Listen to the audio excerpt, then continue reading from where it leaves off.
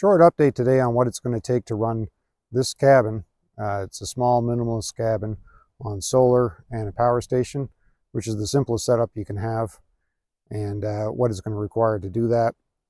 I wanted to do it today. You can see the sun is on the panel, uh, but it's not directly on it. There's a little bit of shadows and things like that, which is going to be probably, you know, a, a normal situation for most people. I mounted that on the wall like that because in the wintertime I don't have to brush snow off it. It's There's literally no maintenance. And I don't like putting holes in the roof or anything like that. And it's a flexible panel, which made it easy to mount. And I don't have to run wires, you know, too long. It was the simplest setup I could do. So this is a uh, just an update on what the results are of this kind of setup. So as I stated, I put that on the wall. I'm going to give you a little closer look of that. If, in case you're wondering, uh, ALLPOWERS sent this to me. I did a review on this earlier when they sent it to me back in the wintertime. I'm getting a better idea of what it's like to, to use this thing. It's a flexible solar panel. It's not a super flimsy fold up one, but it is flexible. And it was super easy to mount uh, by, I made those little brackets and screwed it to the wall of this cabin. It wasn't, it, it, was it was the simplest solution ever. They don't weigh nearly as much as the glass ones do.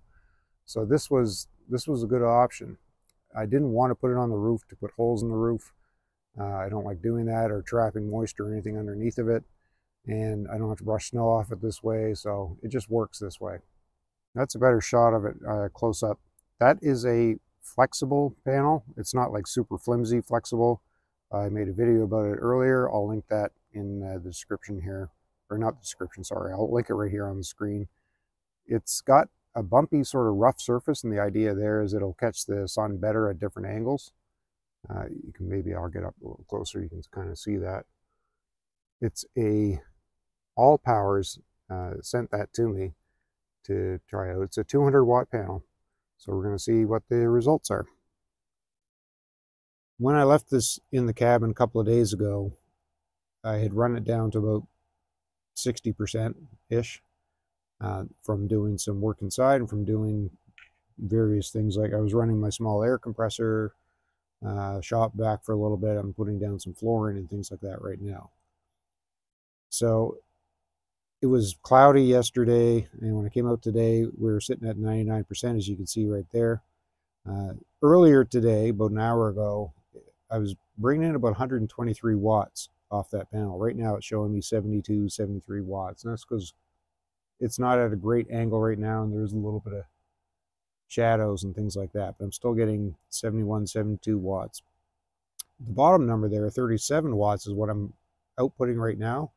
The only thing running is the lights and there's a 12 volt power supply to run the lights and things like that. So even in less than ideal conditions, I'm bringing in more solar than I'm using currently. If I turn on the diesel heater, that'll probably take another 30 watts, but I'm still running exact same, uh, you know, I'm still getting more solar under less than ideal conditions uh, than I'm consuming. So pretty happy about that.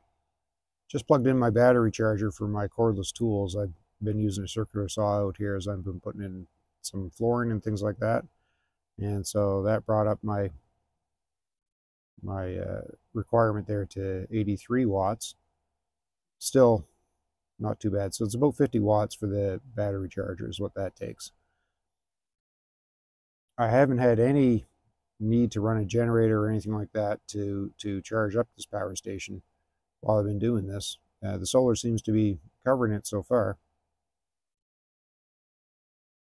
Some of the other tools I've been running off this power station while I've been uh, building this is that, well, shop vac for obviously cleaning up sawdust and things like that. But that little air compressor, and uh, I'm running a framing nailer off it.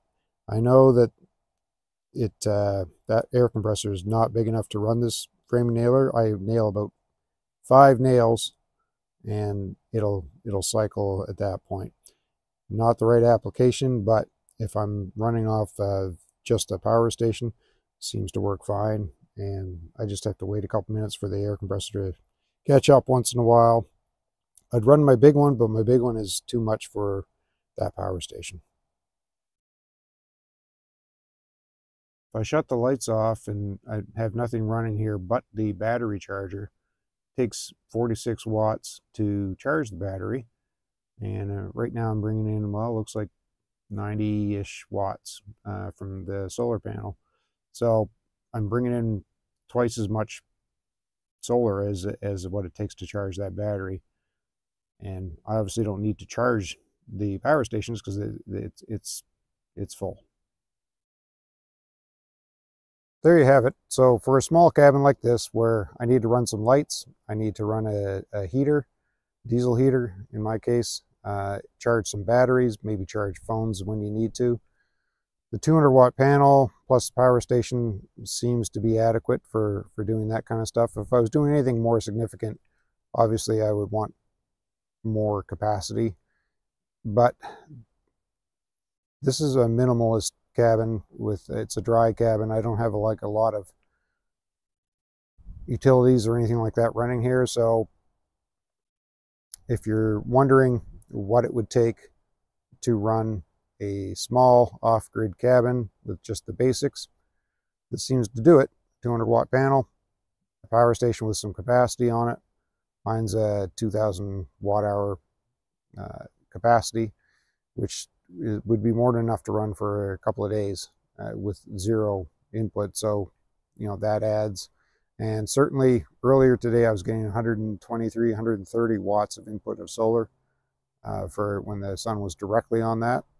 So that's that. That should be adequate for now. I'll update this, you know, later on in the year probably if once uh, uh, we get a better idea and uh, things are things are running. Thanks for watching.